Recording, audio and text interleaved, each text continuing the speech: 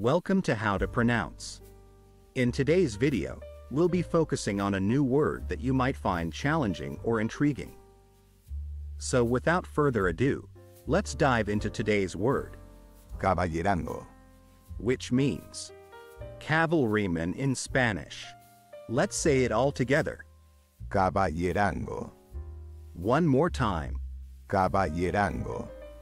Now let's split the word into syllables and then pronounce each syllable one by one. Ka, Ba. Le.